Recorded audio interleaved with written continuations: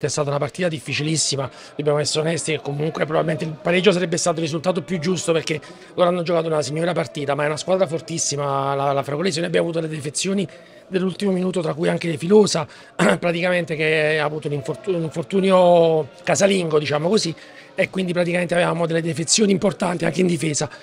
Però devo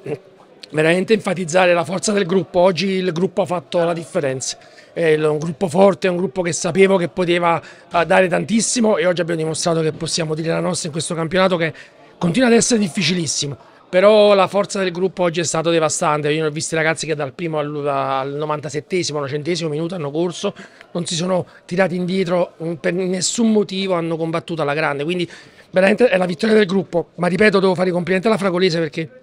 è una signora squadra e onestamente oggi forse meritava qualcosa in più, però ogni tanto la fortuna gira anche dalla parte nostra e probabilmente è arrivato anche il momento per il Friuli raccogliere qualcosa che abbiamo perso durante il girone di andata.